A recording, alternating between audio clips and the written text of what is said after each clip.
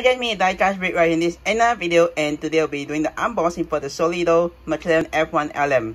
So let's dive straight to this unboxing video right now.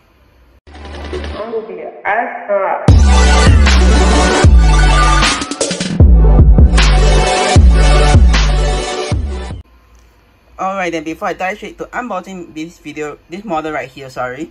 Uh, let me take a look at outside the box itself. Well, it's I would say this packaging itself is very similar to Bburago itself because usually for cheap cheaper and uh, die-cast model you would usually have this transparent look where you can look 360 not almost really I would say almost like 360 degree view of the model itself but uh yeah overall concept wise I think it's quite similar to Bburago but yeah let me just talk about the main thing right here. So mainly it got I'm not too sure what this means but uh it, I think it's meant for Solido competition maybe.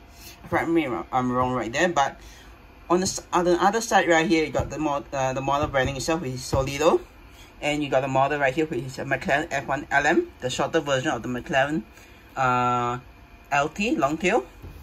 Right at the side of the box itself nothing really much to say other than you got the website to buy your model from the model the Solido branding itself and the rear of the McLaren F1 moving on to the rear itself is quite simple. It got the company history itself about Solido itself and how Solido got started.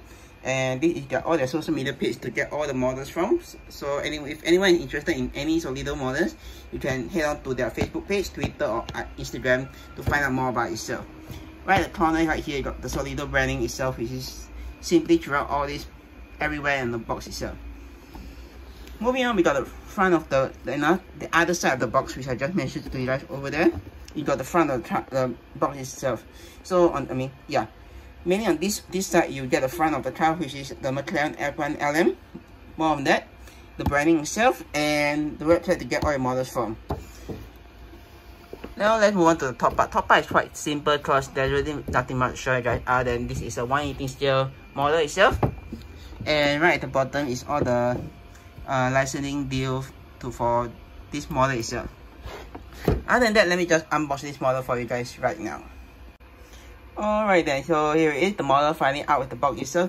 This is my Solido McLaren F1 LM itself from Solido itself and this is my first mo Solido model in the collection.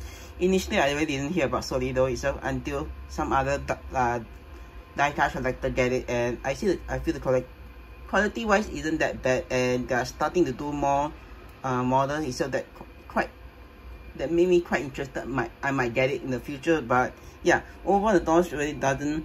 One downside I have for this model itself is if you to open the iconic butterfly doors from the McLaren itself it doesn't really stay up if uh, if you can say it. So many like the old auto Lamborghini model where you need to have something below it to so that it will hold up. Other than if you to just let it go the door will just close itself so that's the only downside of it. But i think for paying i think i paid about 95 sing dollars for this. Uh, i think this is what you expect from a ch cheap i would call it a cheap die-cast model itself. So yeah you definitely can't compare it to uh, Minichamps which they also do it but back then they were, do, they were still doing it. Now it's quite hard to find. So i think Minichamps will be slightly better because they'll it will be able to hold the doors up.